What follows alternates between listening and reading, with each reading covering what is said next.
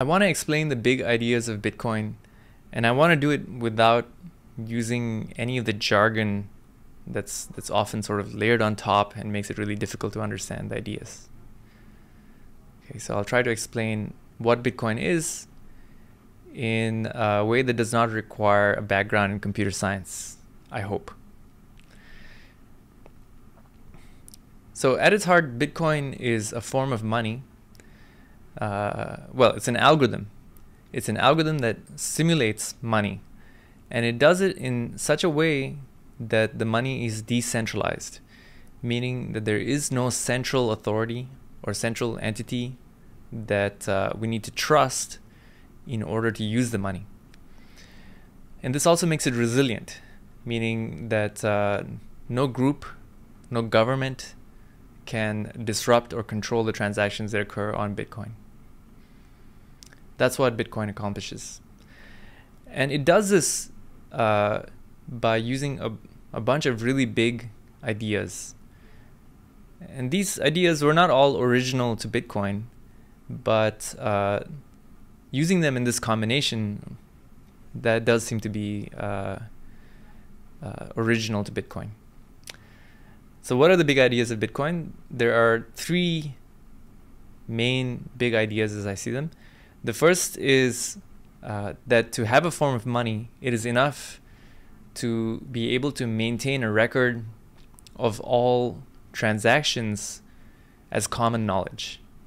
If we all know what all the transactions were, then uh, we have a meaningful form of money. That's the first big idea. The second big idea is you can pick random leaders in the system to maintain this common knowledge of transactions.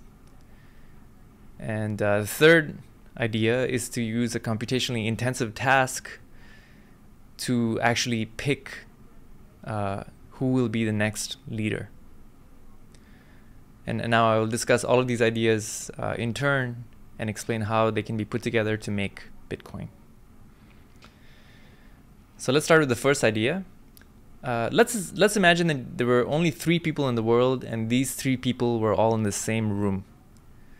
Okay, then uh, it would be very easy to have a form of money without actually having any physical tokens or doing any counting, uh, uh without without trusting any central authority, because all we would do is, uh, you know, initially we would have those three people would have some amount of money, and every time there's a transaction, the person that's sending the money would just announce to everyone else that they are sending the money.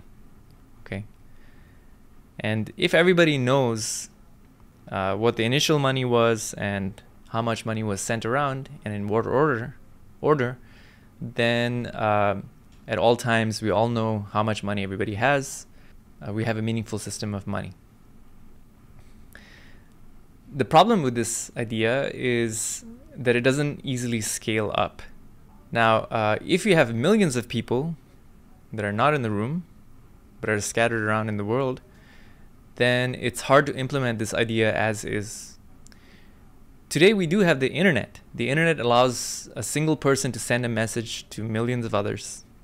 So we do have that ability uh, using the internet. Uh, one major challenge is how do we prevent fraud? How do we prevent people from inventing fake transactions. That's one major challenge.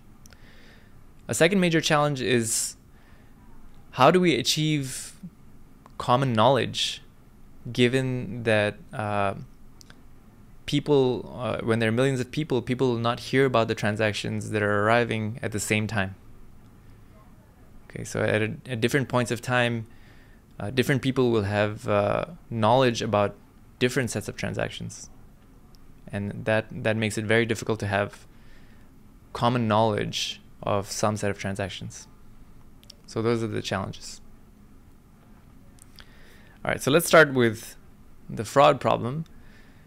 Uh, a really useful tool to prevent fraud is the concept of a digital signature, uh, which has been around in cryptography for a long time. And this is uh, a cryptographic scheme that allows uh, someone to sign messages in such a way that, uh, for example, if this transaction is signed by the sender, only the sender can generate the signature. That's the first property. And the second property is that everybody who sees the signature can be confident that the sender actually did sign this transaction. Okay. They can verify that the signature was generated by the sender. So this is a really important cryptographic primitive and it's very useful here because if we require that all transactions are signed by the sender, then we can be confident that there's no fraud, there are no fake transactions. The second problem is that if people are announcing transactions all over the world, then uh, different people will hear about those transactions at different times. So for example, at some point, if this blue person here announces a transaction, and this this other person announces a transaction, then the set of people that hear about those transactions will not be the same. And it's unclear how we should maintain the common knowledge of all transactions. You know, which which transaction should be added to that common knowledge, and who knows about it. Bitcoin solves this problem by using random leaders to maintain the common knowledge. So at any particular point in time, there will be uh, a random leader, a randomly chosen leader, and this leader will have the sole ability to add to the common knowledge. So we have some common knowledge that's been maintained up to this point.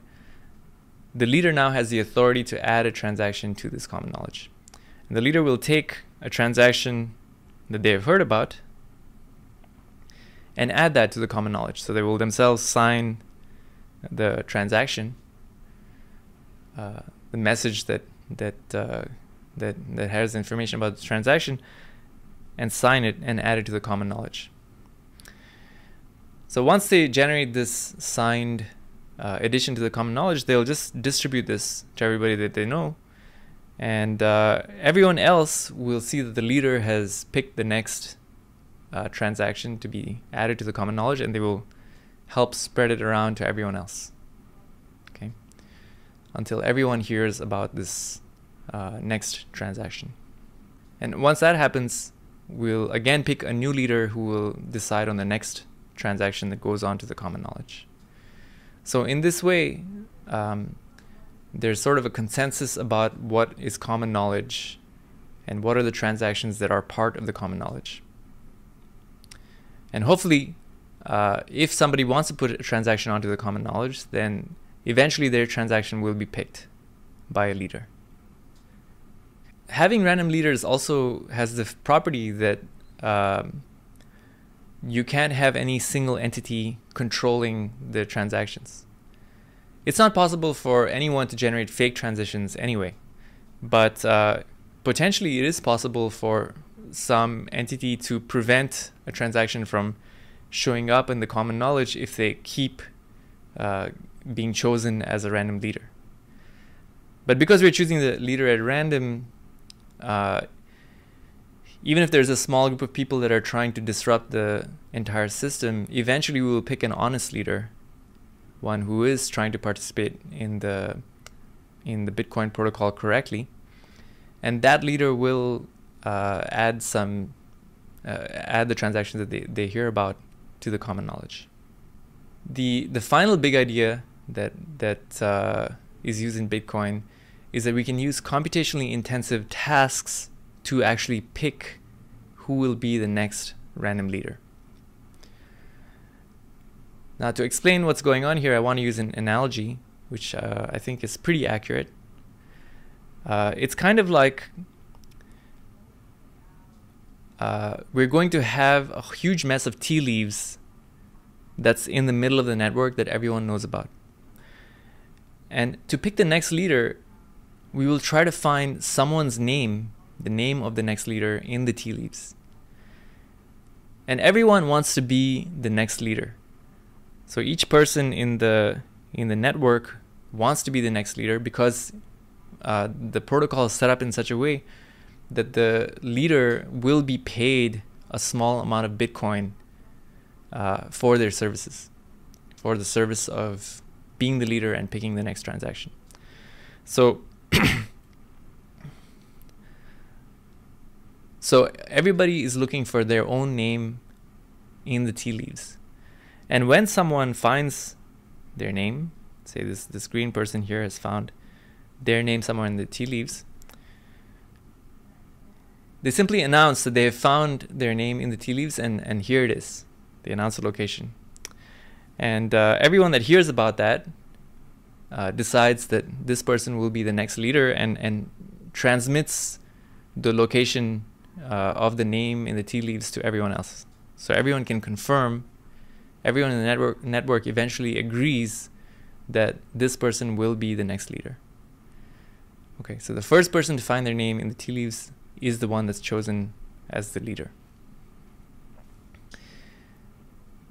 The the protocol is set up in such a way that the chance of finding your own name and uh, being chosen as a leader is proportional to the amount of computational power that uh, you spend to to to to accomplish this task to find your own name. And this means that if um, an entity wants to take over leadership, control leadership, they will have to spend uh, computational power that's comparable to the amount of computational power that's being spent by everybody else in the Bitcoin network. And, and that's what makes it very hard for any, uh, even a very powerful entity like a government, to control what's going on in the network. All right. Uh, so once uh, this leader has been picked and everybody knows about the leader, the leader uh, signs off on what the next transaction is, it goes on to the common knowledge. So that's it. Uh, Bitcoin has three big ideas. The use, uh, the idea that uh, if transactions are common knowledge, then money is common knowledge.